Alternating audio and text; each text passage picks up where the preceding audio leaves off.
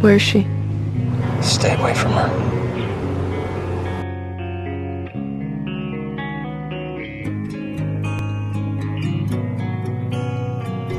I'm sorry.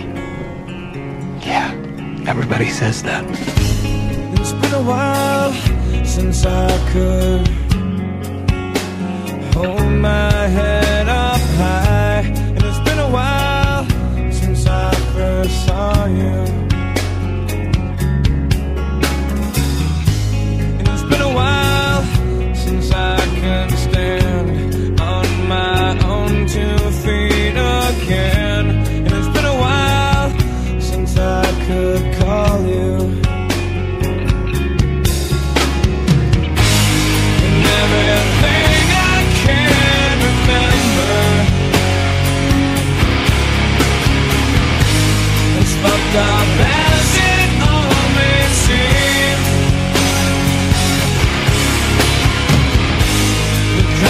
consequences that are rendered